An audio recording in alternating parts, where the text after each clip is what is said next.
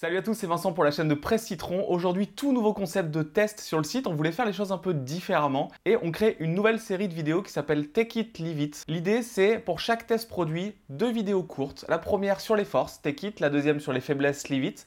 Comme ça, en quelques minutes, vous pouvez faire votre choix rapidement pour savoir si le smartphone ou le produit que je teste va vous aller. Si vous voulez aller bien sûr plus loin, il y a toujours le test complet écrit dans la description que vous pouvez retrouver sur le site. Dites-moi dans les commentaires si Take It Leave le concept vous plaît. Abonnez-vous s'il vous plaît.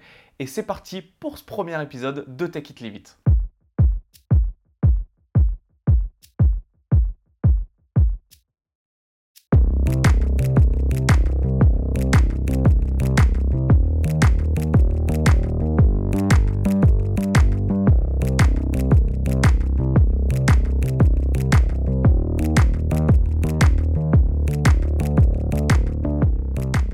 Cette premier épisode de Tech It Leave It se concentre sur les points forts du Google Pixel 4a. Si vous voulez voir les points faibles du Pixel 4a, c'est par ici. La première force de ce Pixel 4a pour moi, c'est l'expérience Android stock, donc une expérience Android qui est pure, réutilisée à chaque fois que je fais un test de pixel. Un pixel, c'est un vrai bonheur.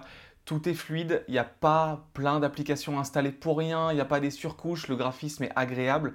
Vous avez aussi, surtout droit avec les pixels, très rapidement aux mises à jour. Donc quand il va être disponible sur le marché, vous allez avoir accès Android 11. Et il y a des petites features qui arrivent au fur et à mesure du temps, comme par exemple la feature qui s'appelle En cours d'écoute.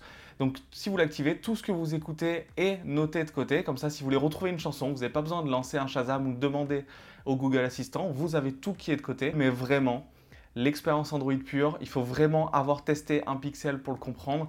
Et c'est vraiment ce qui, pour moi, devrait être à chaque fois l'expérience sur Android.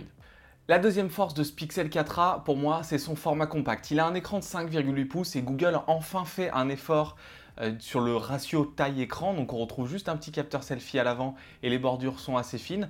Du coup, on a un écran qui prend quasiment autant de place que les 3 XL du passé mais dans un format beaucoup plus petit. Il est aussi très léger et au quotidien, c'est un vrai bonheur d'avoir ce Pixel 4a et c'est le smartphone compact que je recommande sur le marché. J'avais très peur dans les matériaux du choix du polycarbonate, qui est la façon polie de dire plastique, mais le toucher, la légèreté du téléphone est vraiment un plus. Je le dis aussi, il y a un port jack, c'est assez rare pour être souligné. Le troisième point fort, c'est le principal. Est-ce que ça va vous étonner? Je pense pas. C'est la photo. Même si à l'arrière, l'emplacement pour les modules est modifié en forme de carré, en fait, il n'y a pas des modules, il y a un module, un capteur unique de 12 millions de pixels et un flash. Et en fait, Google, une nouvelle fois, montre son savoir-faire. On est sur des photos qui sont bien meilleures que des téléphones qui sont vendus à plus de 800 euros. Et une nouvelle fois, Google démontre tout son savoir-faire sur la photo. C'est un poil moins bien en vidéo, mais quand vous achetez un Pixel, vous êtes certain de faire des excellents clichés j'ai pu tester enfin le mode astrophotographie. Donc, il faut s'écarter des lumières de la ville, il faut aller dans la campagne. Je suis allé dans un endroit qui était un tout petit peu lumineux à cause d'un lampadaire et regardez le cliché que ça fait. C'est juste magnifique. Si les autres constructeurs pouvaient s'inspirer de ces techniques de Google, je pense que tous les smartphones passeraient un vrai niveau au niveau de la photo. Et clairement, si vous cherchez un smartphone compact et un smartphone qui est bon en photo, Pixel 4a, c'est un no-brainer. Quatrième et dernier point fort principal, parce qu'il y en a plein de points forts sur ce Pixel 4a, c'est son prix. Google redevient très agressif sur les prix. Il est proposé à 349 euros. Il y a un seul modèle avec 128 Go de stockage et 6 Go de RAM. Je vous parlerai du SOC choisi dans la vidéo des points négatifs sur ce Pixel 4a.